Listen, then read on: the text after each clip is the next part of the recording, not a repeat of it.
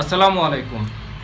ওয়ালাইকুম বরাবরের মতো আজকে আমরা আছি বাংলাদেশের একটি বহুল স্বনামধন্য hospital DPRC hospital and diagnostic lab লিমিটেডে এখানে আমরা একজন রোগীর সাথে কথা বলব।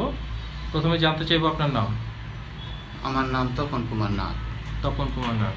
স্যার আপনি কোথা থেকে এসেছিলেন? আমি এসেছি সীতাকুণ্ড চট্টগ্রাম থেকে। চট্টগ্রাম থেকে এসেছেন। স্যার জানতে চাইব এই ডিপিআরসি হসপিটালে আপনি মূলত কি সমস্যা নিয়ে সবার প্রথমে এসেছিলেন?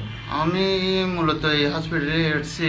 আমার আর্থ্রাইটিস সমস্যা ছিল দীর্ঘ চার বছর ধরে। ওই সমস্যা নিয়ে আসছি। আচ্ছা এই সমস্যাটার কারণে আপনি আপনার প্রাথমিক জীবনে কি ধরনের সমস্যার সম্মুখীন এই সমস্যার কারণে আমি অনেক ধরনের সমস্যার মুখোমুখি হয়েছি। অর্থনৈতিক শারীরিক সামাজিক অনেক দিক থেকে আমি এটার কারণে পিছিয়ে গেছি। পিছিয়ে গিয়ে আচ্ছা জানতে চাইব যে এই ডিপিআরসি হসপিটালে আপনি কোন ডক্টর সাহেবের আন্ডারে ভর্তি ছিলেন? এই হসপিটালে আমি ডক্টর মোহাম্মদ শফুল্লাহ শফিউল্লাহ প্রধানের আন্ডারে চিকিৎসা নিয়েছি। স্যার কতদিন যাবত নিয়েছেন আমি আজকে চোদ্দ দিন যাবত আজকে চোদ্দ দিন যাবত জি। আচ্ছা গত চার বছর যাবত আপনি আপনার এই সমস্যাটা ভুগছেন এবং ডিপিআরসি হসপিটালে আপনি গত চোদ্দ দিন যাবত ট্রিটমেন্ট নিয়েছেন ডক্টর শফিউল্লাহ প্রধানের আন্ডারে এখন আপনার শারীরিক অবস্থাটা কি? এখন আমার শারীরিক অবস্থা মোটামুটি আগের থেকে ভালো আছে। আগের থেকে অনেক ভালো। আপনার যে ধরনের শারীরিক সমস্যার মুখোমুখি হতেন আপনি আগে যে ধরনের প্রাথমিক জীবনে যে কাজগুলো করতে আপনার যে সমস্যাগুলো হতো এখন সেটা কেমন লাগে আপনার? এখন আশা করি আমি ওইসব কাজগুলো করতে পারব এরকম একটা আশা করি। আশা করছেন?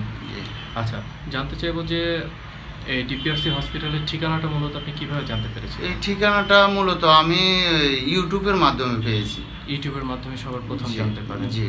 তারপরে কি করেছিলেন জানা খবর এই তারপরে ইউটিউবের মাধ্যমে এই ঠিকানাটা পেলাম তখন নিজে একটা চিন্তাধারা করলাম এখানে একদিন স্যারের কাছে আসব দেখাবো নিজে চিকিৎসা নেব। তো আশা হলো দেখা স্যারে দেখে দেখে নিল এখন চিকিৎসা নিলাম স্যার থেকে। আচ্ছা নেওয়ার পর এখন আপনি সম্পূর্ণ সুস্থ হয়ে গেছেন?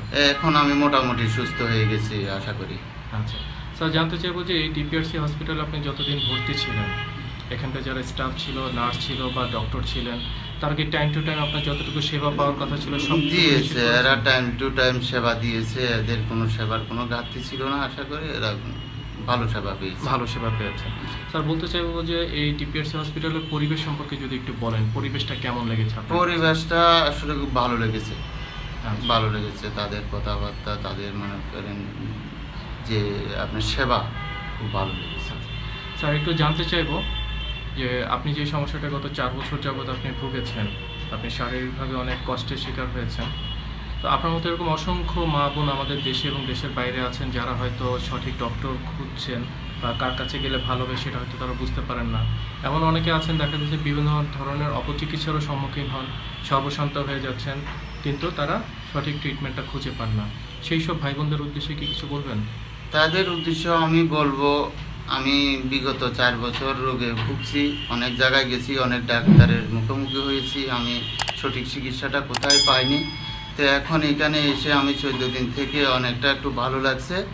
তো এখন যারা আমার মতন রোগে ভুগছেন, তাদেরকে আমি বলব, যদি আপনাদের সাধ্য হয়, তাহলে আপনারা একবার এদিকে আসেন। একটু আমার মতন হয়তো ভাগ্যটা একটু দেখেন, যাচাই করে হয়তো পরিবর্তন হয় কিনা।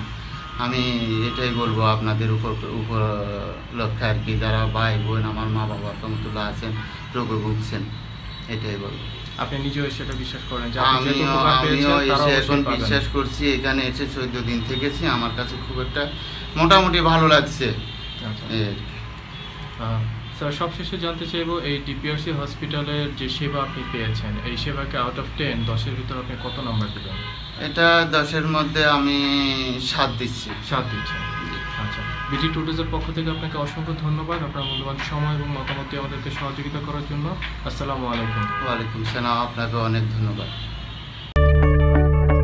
আমরা জানি আপনার প্রিয়জন আপনার জন্য কতটা গুরুত্ব বহন করে। প্রপার ডায়াগনোসিস কনসালটেশন পেইন ও প্যারালাইসিস চিকিৎসা পুনর্বাসন আমাদের সব আয়োজনই সবসময় আপনাদের জন্য চব্বিশ ঘণ্টা খোলা। আমরা চাই না আপনারা বারবার আমাদের কাছে ফিরে আসুন তবুও আমরা আছি সব সময় সর্বদা আপনাদের পাশেই। ডিপিআরসি হসপিটাল লিমিটেড আস্থা বিশ্বাস ও নির্ভরতায় অবিচল।